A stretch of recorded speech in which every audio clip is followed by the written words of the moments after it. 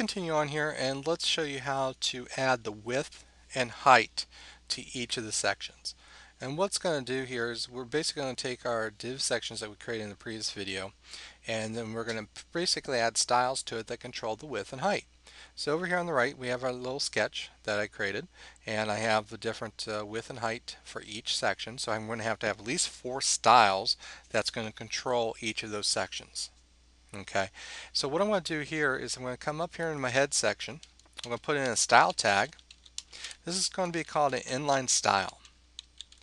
So what will happen is this anything you put in here will only apply to the page that you're on. You'll learn more about external style sheets where you'll automatically go in and apply styles to multiple pages which is more efficient. In this case I'm just going to make sure I have a style for this page so you can see what happens here. Now what I need to do is I need to indicate the style for each section. Since we're using the div tags and we're using ID to name each section, we have to uh, basically indicate in our style section a little bit differently the style or the section that we're applying to. We do that by putting the pound sign in followed by the name of the section. In this case it's called header.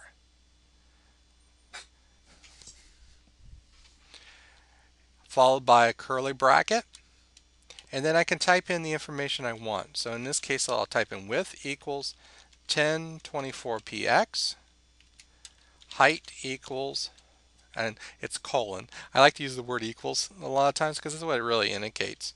So I'm, I'm indicating the style, then I'm putting in the property value. So you can see it, I'm going to put in a background color and this is uh, for your styles just simply background hyphen color followed by a colon. And then I'm going to put a hexadecimal number and those are more specific for web.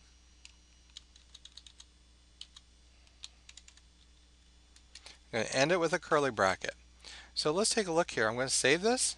I'm going to open up my browser and I'm going to click on refresh and you can see that there's this yellow section up here that's a certain width and a certain height. So now what we have to do is for each of the sections automatically add the information that we need. So next one is my nav section. So I'm going to put in a pound sign, nav, curly bracket. Same component here, width, colon. Now this is going to be 160px. Height is going to be 480. Now, if you want to see the section color, I'm just going to put in a background color. You don't have to do that.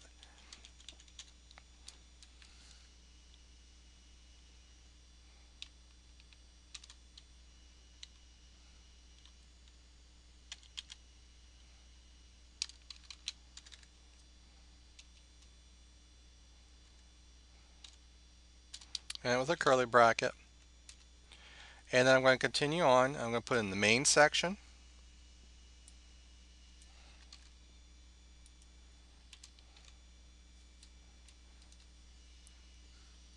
And I'm going to put in my footer section. Now I already have it done on another page so I'm just copy and pasting over so I don't have to type in the code. So again all I'm doing is putting that information in just like I would see over here I'm putting the width and height in. Now if I want to add additional background colors so you can see the section let's do that.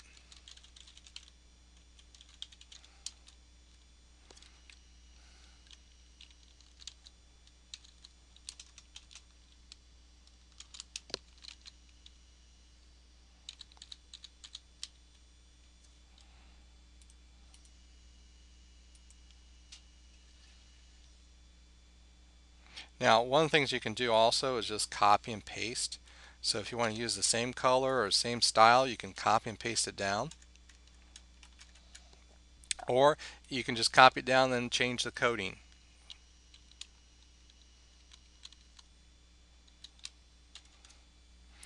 Now I'm going to save this and then let's take a look in my browser the different sections. Now I'm going to maximize this so you can see this. You can see that the width of the yellow goes all the way over and it goes that's going to go 1024. Now you will see that the navigation section doesn't go all the way across because we are controlling the height of that and the width to be a certain amount. Same thing with the main section and also the footer section down at the bottom. Now here's a little trick here and you'll learn more about this as you move into style sheets and positioning. If you want to move the welcome section up here to the to the right of the navigation so it takes up all this extra space in the white space then here's what you do. You come into the nav section and you're going to add an option called float. And what that does, it's kind of like text wrap if you think about it, if you worked with text wrap before or wrap text, what it does is it floats the section to the left or to the right and moves everything out afterwards to either side of it, depending on what you're going to do here. So in this case, it's going to move the, the main content to the right of the nav section. Watch what happens.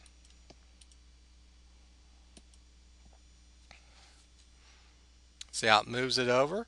Now you can go in and now it might be too close, the text might be too close, and you might need to adjust other settings uh, on that.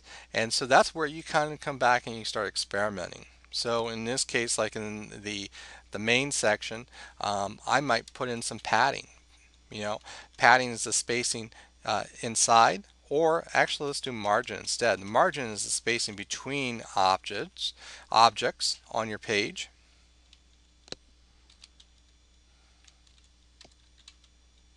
I'll put in 25 pixels. Let's see what happens there.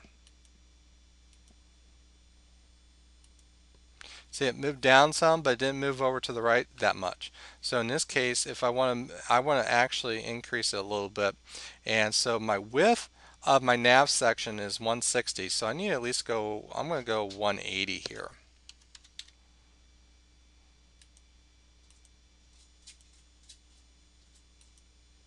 See how it moves it down and moves it to the right? Well, it moved it down. Why did it move it down? Because when you apply a margin, it's applying to all sides. So if you only want to apply it to one side, like for example, you just want to apply it to the left side, then you type in margin hyphen left. So when you use the word margin, it applies the same amount to the top, left, right, and bottom, and now we're just going to apply it to the left side. See now it's moved over, it's getting there, and of course the colors, you know, the, the section area is a little bit off, so we have to kind of control the width and height a little bit different there. But you get that basic understanding of what's going on. So what we're doing here is we're, we're basically setting up our style section to have the width and height to control. Now you do have to pay attention, especially if you're going to work with things side by side, and you have to understand with padding and margins that adds extra spacing. So uh, what you'll do is if you like for example margin if you're going to add extra margin you might have to add a little you might have to change the width a little bit as well because that comes into the whole complete size. So here what we did was we just took our div tags and we applied styles to those div tags. So hopefully that makes a little bit more sense. So that's what we're trying to control as we move forward is control the positioning. And there's other things you can do to each section, but we want to at least understand the basic concept first.